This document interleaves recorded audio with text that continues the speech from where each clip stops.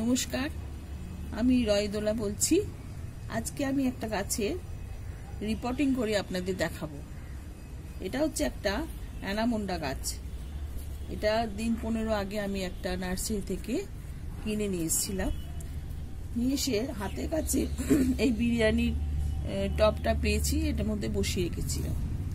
তা বর্ষার জল পেয়ে এটা একদম এত তত্তরিয়ে বাড়ছে যে এই এটাকে চেঞ্জ না করলে আর চলবে না। ওই জন্য আমি আজকে ভাবলাম আপনাদের রিপোর্টিং করে একবার দেখিয়ে দিই। এরকম একটা প্লাস্টিকের টব আমি নিয়ে নিয়েছি। এর মধ্যে দুটো হোল করা আছে। হ্যাঁ এটা হচ্ছে ড্রেন ড্রেন না থাকলে হবে না। প্রত্যেক টবের মধ্যেই ড্রেন থাকতে হবে।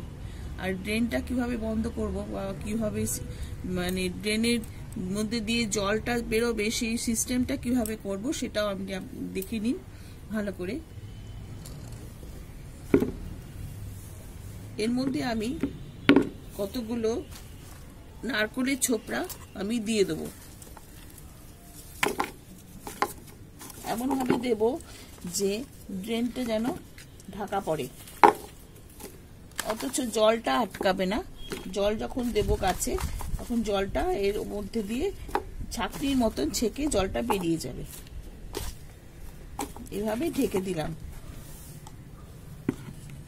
এর উপরে আমি মাটি দেব।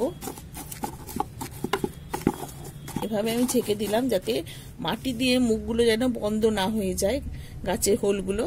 হ্যাঁ ওই জন্য আমি এই ছোপড়াগুলো দিয়ে ঢাকা দিয়ে দিলাম। এরপরে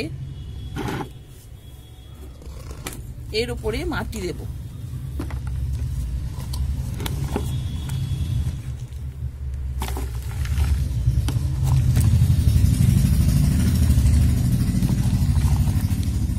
ভালো করে বেশ খানিকটা মাটি দেব।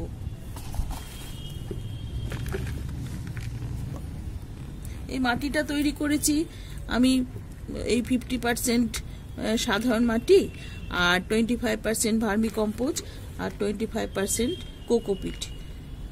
আর অল্প অল্প একটুখানি নিমখোল নিয়ে নিয়েছি এর মধ্যে। আর হাড় গুঁড়োও নিতে পারেন অল্প করে।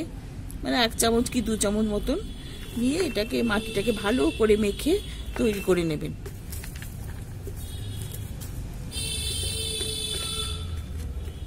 এইভাবে করেছি। এরপরে আমি ওই এটা দিয়ে দেবো।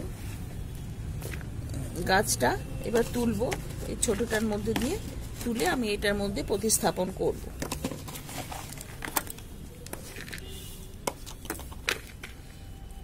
এইভাবে আমি খানিকটা মাটি সেট করে নিলাম।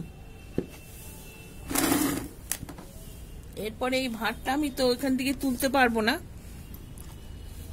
ভাতটার মধ্যে দিয়ে আমি এটাকে ভাঙতে হবে।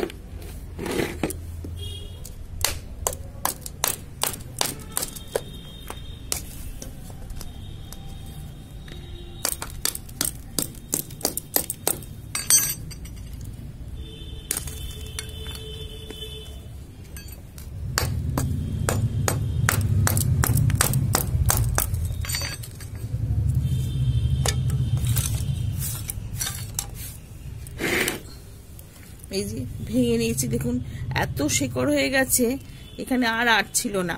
ভর্তি, সাদা সাদা শিকড়ে ভর্তি। এরপরে শিকড়গুলো জল জমে পচে যেত গাছটা আস্তে আস্তে মরে যেত। ওই জন্য টবটা পাল্টানো আমার খুব দরকার ছিল টবটা পাল্টালাম। এরপরে এর মধ্যে বসিয়ে দেবো।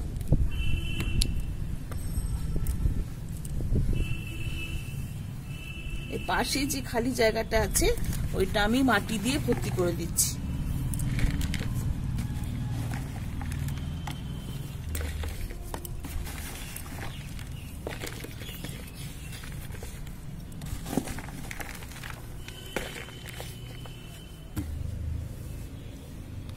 এরকম মাটি দিয়ে আমি ভর্তি করে নিয়েছি।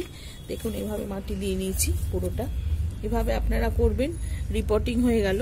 এবার রিপোর্টিং করে প্রত্যেকটা গাছে যখনই রিপোর্টিং করবে, জল থাকুক কি না থাকুক, বৃষ্টি পড়ুক কি না পড়ুক রিপোর্টিং করলে একটু ভালো করে জল দিয়ে দিতে হয়। একদম ভরপুর জল দিয়ে দিতে হয়। তারপরে পরে আপনি একদিন, দুদিন জল না দিলেও অসুবিধা নেই। কিন্তু রিপোর্টিং করে এক ভর্তি করে জল দিয়ে দিতে হবে।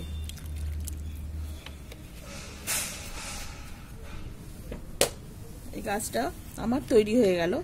এবার আপনি যেখানে খুশি সেখানে রেখে দিন, যেখানে রোদ পড়ে, দু তিন ঘণ্টা রোদ থাকে, এরকম জায়গায় রেখে দিন। খুব ভালো ফুল দেবে। অ্যানামন্ডা ফুল তো খুবই ভালো হয় জানেন সবাই। বন্ধুরা, আমি এক মাস আগে এই গাছটা অ্যানামন্ডা গাছটা রিপোর্টিং করেছিলাম। এক মাস পরে দেখুন, কুড়ি এসে গেছে। এই ডালে এই ডালে, সব ডালে কুড়ি আসছে। এরপরে আস্তে আস্তে ফুলগুলো ফুটবে, তখন আবার আপনাদের দেখাবো। রিপোর্টিং করলে খুব তাড়াতাড়ি গাছ বাড়তেও পারে আর ফুলও আসে।